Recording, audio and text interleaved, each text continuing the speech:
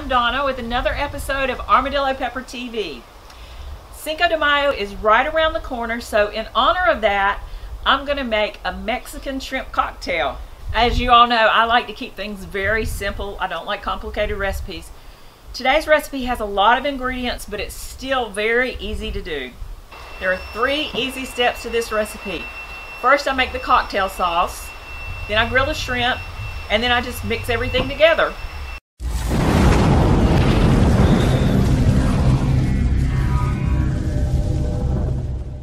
Okay, now it's time to make my sauce.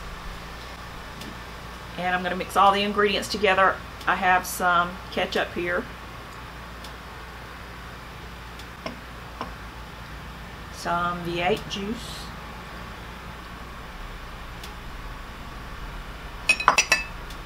And a whole bottle of clam juice. This is yellow bell pepper, orange bell pepper, whatever kind you want to use. Some red onion. A lot of recipes call for a whole red onion, but I don't like a lot of onion, so I'm just using a little bit. Salt and pepper mixed. Use however much you like.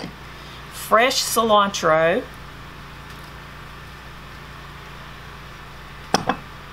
Some horseradish.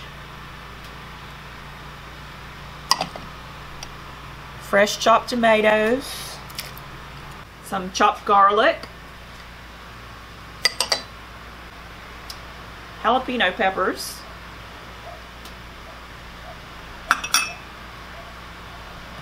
some um, chopped cucumber,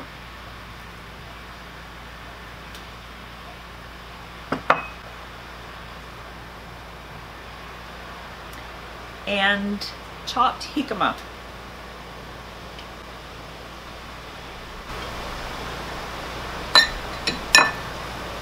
I'm going to add the juice of two limes.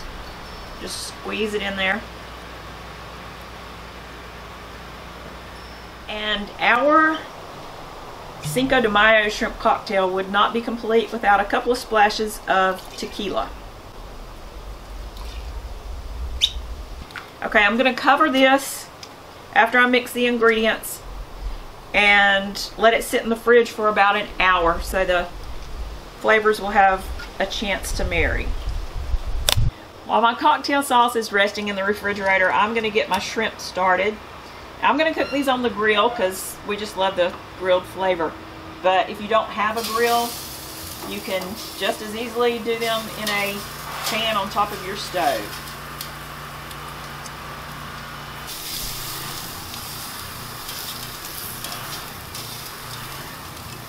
There's no need to season these shrimp before you put, put them on the grill because they're going into our cocktail sauce and they'll have plenty of flavor. Okay, our shrimp are done. I'm going to get them off the grill and just set them to the side until our cocktail sauce is ready. All right, now it's time to build our cocktail. I'm just going to put some shrimp in each glass and I left the tails on a few of these shrimp to use for garnish. You can take all the tails off if you want to.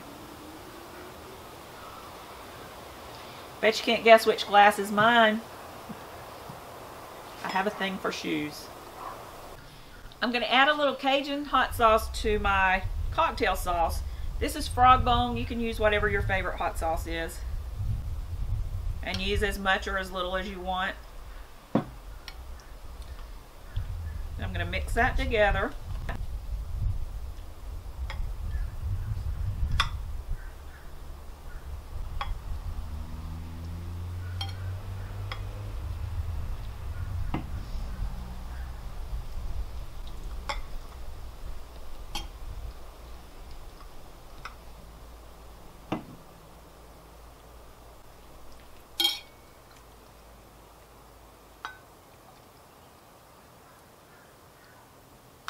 This makes an absolutely gorgeous presentation. Your guests are going to be totally impressed with your culinary genius.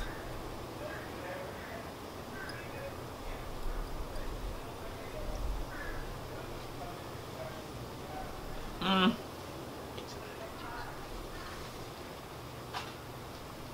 This is so good. I love the fresh cilantro and the brightness of the all the fresh vegetables, the sweetness of the shrimp. I could eat a ton of this. I'm gonna try the veggies.